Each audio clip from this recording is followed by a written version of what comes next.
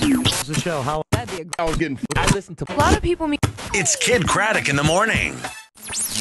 I happen to peruse the blogs, You do. and I happen to come across one that, you know, st- piqued my interest. Okay. Oh, really? And I thought I'd share it.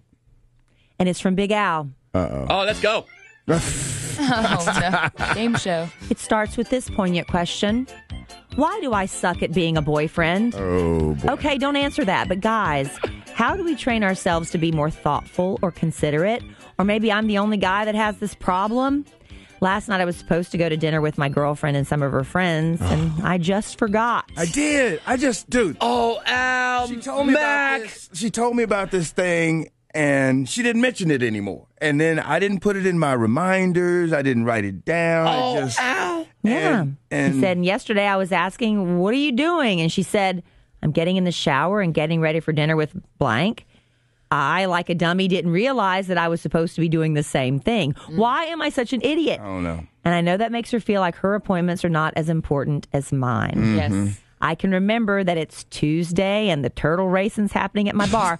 Way to plug your bar and your blog out. Oh, you you always find a way to plug that bar. Turtle racing every Tuesday. But the worst part is this is not the first time. I have to somehow just remember to remember. Guys, help a brother out here. How is it we remember meaningless crap like who won the Super Bowl last year, but we forget about our girlfriend's dinner date? Okay, who won the Super Bowl last year? Baltimore. Oh, like I'm, like I'm going to challenge you. But it's like you know we can we can remember stupid, meaningless statistics, for example, or You're taking her for granted. phone numbers. Yeah, and you know, for and you know how that Ow. translates to us. We take that as you're not important to us. that's and. I, You and I take her know for granted. And see, and this isn't a, this isn't a one time occurrence. This, you know, as sadly as it is, this isn't a one girl occurrence. I mean, this has just been. This is you. I don't. This just it's just a flaw. It's a flaw with me. I just don't. I don't know. It's an inconsiderate flaw. It's a thoughtlessness flaw. It's whatever. And I try to do good things. You know, I try to open the good door and I try to do this and do that.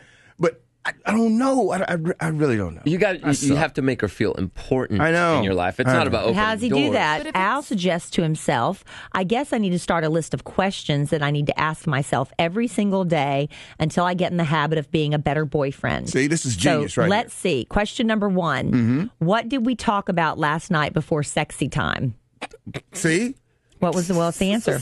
um, the dog.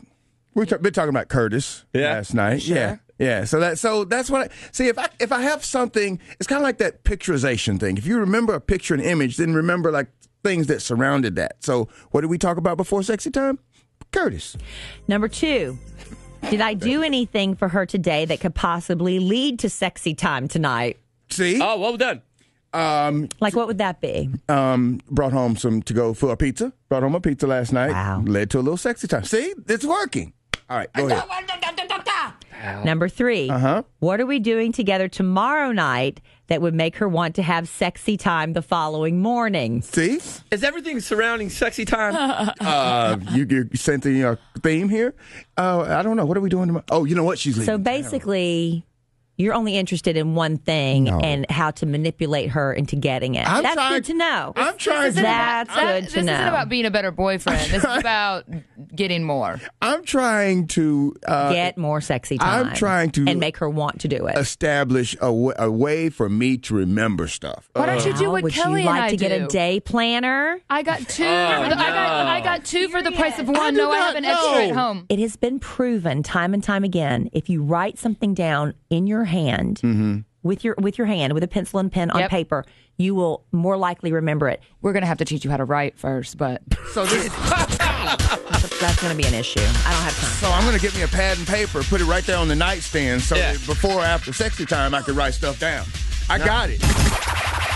Subscribe now for more videos from Kidd Kraddick in the morning and check us out at kiddnation.com. It's Kidd Kraddick in the morning.